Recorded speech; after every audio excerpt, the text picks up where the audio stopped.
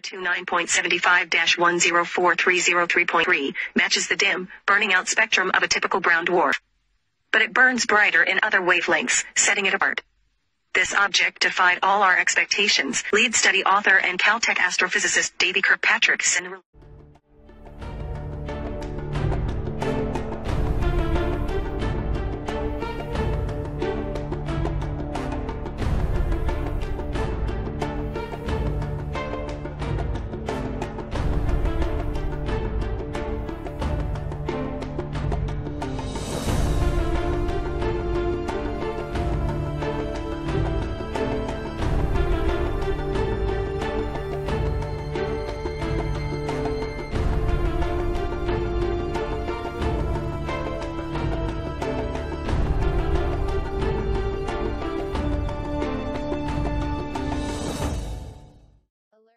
Alert, Nibiru will awaken supervolcanoes on Earth in 2023.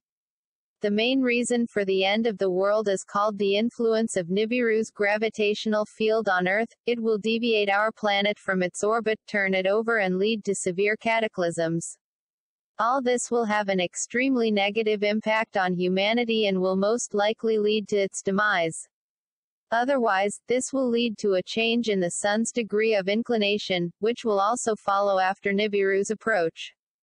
Nibiru's final approach to perihelion, the closest point with our world, we might call the moment of great tribulation.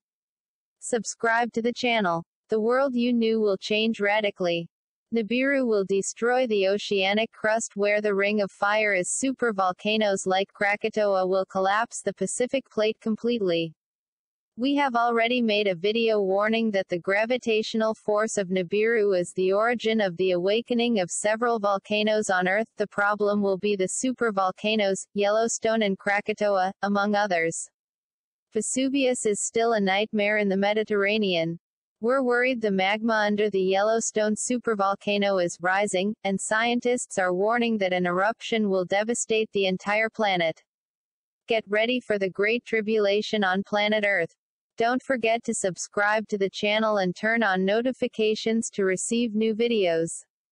Thanks.